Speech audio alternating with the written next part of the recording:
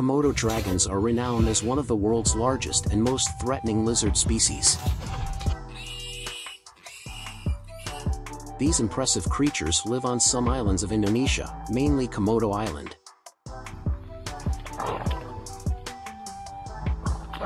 Their constant need to hunt in order to survive in the wild makes them unique creatures. These large lizards see all prey animals in their habitat as potential prey.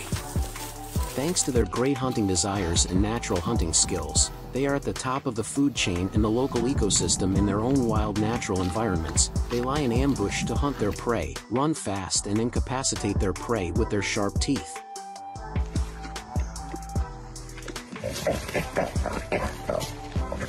Their insatiable hunting desire, especially when food sources are limited, shows its effects on the ecosystem. They also play an important role in the food cycle due to their hunting desires.